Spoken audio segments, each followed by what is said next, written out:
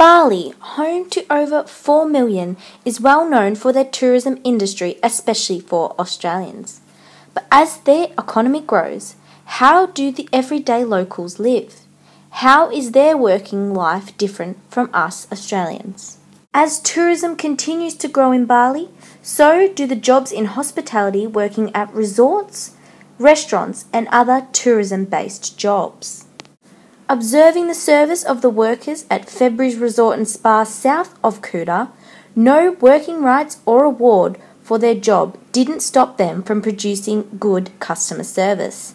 Even tourists noticed the difference. Um, this is my first time coming overseas, um, so I feel like the service here compared to what you get in Australia um, has been amazing compared to the hotels and resorts and everything that I've stayed in.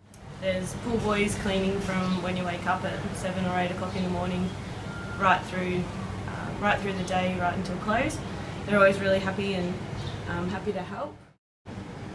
There's even security here. Um, when you come back late at night, we went out the other night, came home, we got home at 1.30 and there was security here to make sure that everything was safe, so that was good.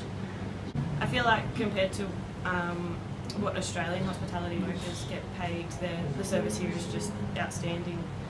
With no superannuation and only pensions for those who work for the government, these Balinese have to work six days in order to afford to live.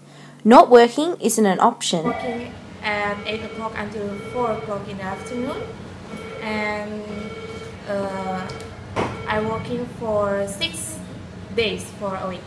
Yes, Monday to Saturday. Because uh, for public holiday, we also uh, working in the public holiday. Uh, we finish work at 4 o'clock and if we work until the 6, we will get uh, extra. And it's just your normal pay rate, it's not double. And now. Febris Resort is just a sample of what hospitality workers get in terms of rights in Bali. As holidaying to Bali becomes more popular, we question whether these hospitality workers will get more benefits. Some small benefits in the hospitality industry includes annual leave and work insurance. For annual leave, yeah, we uh, the, the company will not pay if we take an annual leave. For a year, we have 12 days. Actually, we have like a card, like uh, insurance from the uh, company, and when we go to the hospital or we are sick, we yeah just bring that card and so to the hospital, and we will not pay anything. Mariah MacInnes, Kuta Bali, Deakin University.